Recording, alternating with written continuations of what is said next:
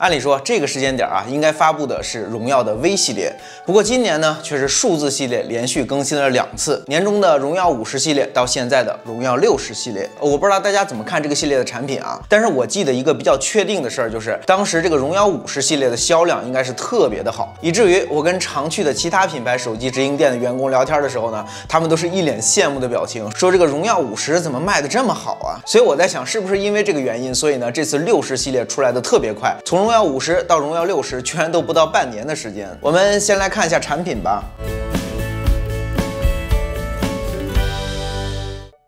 我这次拿到的是幻境星空的配色，它表面上摸起来是光滑的，但是眼睛看上去有很多的纹理。它拥有两层镀膜，蓝紫色渐变和镀银色底，不同的角度看会呈现不同的颜色。纵向三颗摄像头排列的也很规整，不知道大家是否喜欢这款颜值天花板呢？正面是居中的挖孔屏，而非常值得关注的是四曲面的设计又回来了。这个设计最大的好处就是从底边向上滑动操作的时候手感会更好。不过以前的四曲面呢，经常会面临一个问题，就是由于四面都是弯曲的。所以这个 R 角非常难设计，可能会让人觉得很突兀。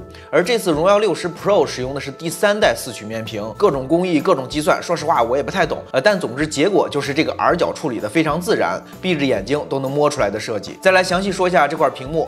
材质当然还是 OLED 的，一百二十赫兹的高刷屏，品牌应该是京东方的。但重要的是，它的像素排列并不是周冬雨排列，而是一种之前没有见过的排列。呃，但是是类钻排的，这应该是一个非常大的好消息了。而且屏幕分辨率为二六五二乘以幺二零零，高于零八零 P，但是不到两 K。为了方便，我通常都叫它一点五 K。由于 OLED 的特性会有 PPI 的损失，一零八零 P 显得不够锐利。而两 K 的屏幕除了成本更高，还会给手机的性能和耗电等方面带来更大的负担。所以其实一点五 K 是我目前认为比较适合手机的分辨率，而 1.5K 加类钻排，也就使得这块屏幕的清晰度表现非常不错。而色彩调教方面呢，依然是比较偏冷色调。性能方面，荣耀60 Pro 采用的是骁龙 778G 加的处理器，简单来说就是对 778G 做了一个小幅度的超频，所以也算是老朋友了，相信大家也应该都比较熟悉。我们就直接来测游戏了。荣耀60 Pro 是七系处理器机型中首款支持王者荣耀120帧的，不过120帧不能和极致画质同时开启，我们就选到次一档的高清画。质实际测试居然可以稳定在一百二十帧，这个真的让我感觉到非常意外。其他的游戏我们也简单看一下，《和平精英》最高支持 HDR 画质和超高帧率，也就是 HDR 四十帧，实际表现肯定是没有什么压力，全程满帧。《英雄联盟》手游最高支持到超高画质六十帧，实测也是全程满帧。而要求比较高的《原神》，我们选择默认的低画质，可以稳定在五十到六十帧之间。而即便是调到最高画质，大部分时间也在四十到五十帧之间，表现应该算是很不错了。然后我们再来看一下电池部分，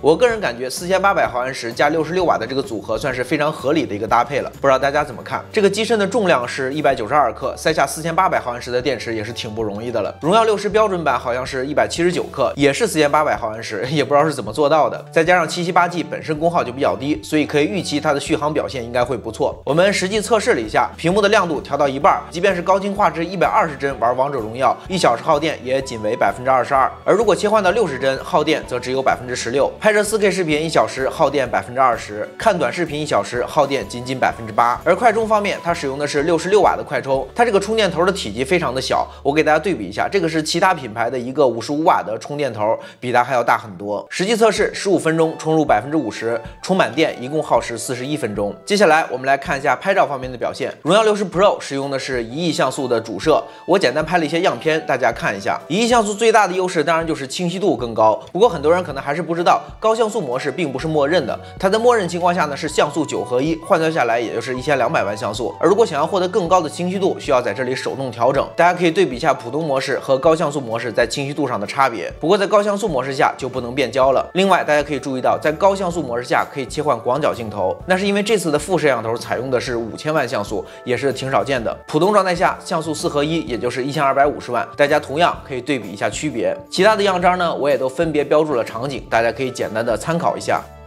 广角镜头可以自动支持超级微距。然而，以上这些呢，都不是这次荣耀六十系列的最大卖点。这次最大的卖点呢，在于这颗前置五千万像素的摄像头，好像从来没见过前置给这么高像素的。而最重要的是，这款手机呢是非常适合用来拍摄 vlog 的。呃，大概的形式呢，就是类似于我现在这样面对着屏幕说话，一边说呢，一边拍摄一些内容，分享一下我的生活等等。而荣耀这款六十 Pro 的手机呢，可以说是给了我们一整套的解决方案。我来给大家演示一下。首先，我们把模式切换到这个多镜录像。这个时候呢，我们就可以使用一个叫做隔空幻境的功能。我们先把它切换到自拍的模式。大家注意看，我呢把手抬起来，这个时候呢，屏幕上就会出现一个手的图标。刚才这个举手的动作呢，大家可以理解为这是一个标记。荣耀把它叫做 Give me five Vlog 开拍。这个前置镜头呢，会一直监测我手部的动作，只要发现了我这个举手的动作呢，就是我需要下达一些指令了。比如说我举手，并且不做任何其他的动作，就是倒数三秒开始录制。然后我举手，然后翻转一下手腕。就是前后镜头的切换，现在呢就直接切换到后置镜头了。然后我再举手，再翻转，它就又会回来。呃，这个过程呢其实非常的流畅，大家也可以看到这个反应非常的迅速。还有我举手，然后握拳，它就会变成这样的大小窗模式。然后我再举手，再握拳，它就会关闭这个小窗模式。然后在拍摄的过程中呢，我只要举手。然后比出 OK 的手势，它就会自动停止录制。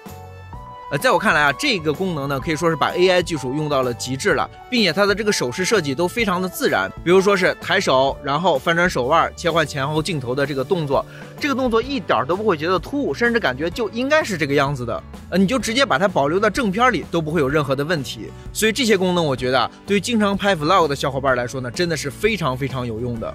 另外，大家也可以注意一下它的收音效果。凡是使用荣耀六十 Pro 这款手机直接收音的部分，我都会标注出来；而没有标注的部分呢，都是用的这款麦克风来进行收音。大家可以自己对比一下。测试部分差不多就到这里了。呃，其实要问我个人的一个感想，就是荣耀做手机和其他品牌的思路完全不一样。其他的品牌呢都是非常重视硬件参数上的好看，而荣耀则总是在下面这两个方面花费更多的精力和预算。第一方面是非常重视产品的外观，如何配色，用料如何，是否能让人看第一眼就留下非常深刻的印象，手机的整体轻薄度如何，握持感好不好。第二方面是在软件层面的使用体验如何，又增加了哪些实用的功能，能否很好的利用。用到这些年最火的 AI，也就是人工智能技术，应该说这两方面都是消费者能够最直接感受到的内容。而所谓的跑分高一点、低一点，对于大部分用户来说，可能真的是感受不出来。一句话总结就是重体验轻参数。好了，以上就是今天的全部内容了。欢迎帮忙点赞、评论、转发什么的，也欢迎来各大平台关注我，ID 都是 B O N J O U R 呼呼。感谢大家的时间，我们下期再见，拜拜。